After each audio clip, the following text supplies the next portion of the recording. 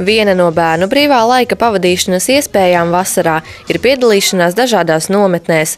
Šovasar Jēkabpilī notika 16 nometnes, kurās piedalījās vairāk nekā 300 bērnu. Interese ir, ko dot bērniem nometnes. Nu, protams, tā ir iespēja gan viņiem izkopt savus talantiņus, gan būt kopā, iepazīties, mācīties, komunicēt vienam ar otru, izdomāt kaut ko radošu, kaut kur piedalīties. Es esmu piedalījusies trīs nometnēs. Man vislabāk patika, kad mēs braucām uz citrusu. Un vēl man patika, tad, kad mēs gājām pārgājienā. Sešās esmu bijis.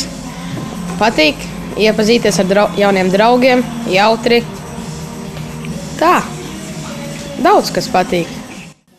Pateicoties Jēkabpils rajona padomes finansējumam, teju 4000 latu, notikušas visas astoņas plānotās bērnu un jauniešu nometnes rajonā, informēja Jēkabpils rajona padomes izglītības pārvaldes speciāliste Dzidra Baranovska. Netik veiksmīgi gājis tām nometnēm, kuras atbalstīja Jēkabpils pilsētas dome. Kārtējā domes sēdē 20. augustā deputāti atcēla iepriekš pieņemto lēmumu par 3000 latu piešķiršanu desmit nometņu rīkošanai. Pilsētas pašvaldības atbalstu guva vien deviņas no iepriekš plānotajām 19 nometnēm. Tām piešķirti 2700 lati.